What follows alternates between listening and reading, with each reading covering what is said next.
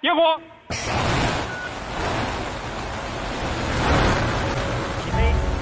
我已出舱，感觉良好。哇，这外面太漂亮了！同学们看到了吗？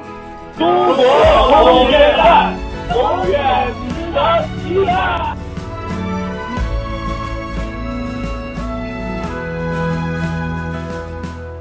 入水到出水的时间是六个小时，这是航天员水下训练时间的极限。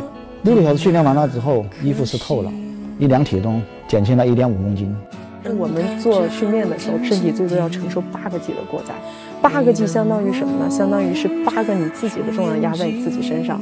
我们的左手就是一个暂停按钮，但是在我们航天员大队成立以来，二十多年的时间，没有一个航天员碰过这个案子。卧床训练，卧在那个床上，负六度，倒着几天呢？七天。吃就是倒着吃啊，喝水也是倒着喝水呀。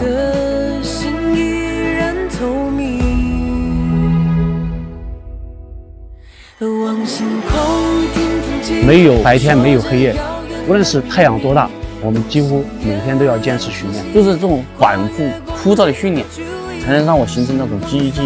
只有把自己的岗位做到万无一失，你才能够确保我们每一个环节不出现问题。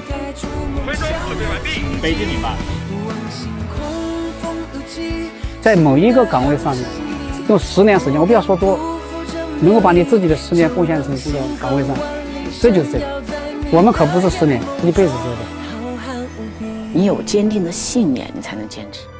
我的信念就是，航天员选拔训练的这个技术体系从无到有建立，我一定要把它完成。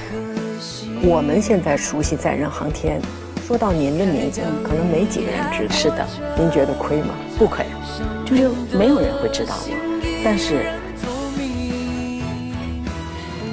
我们注定要做那个无名英雄。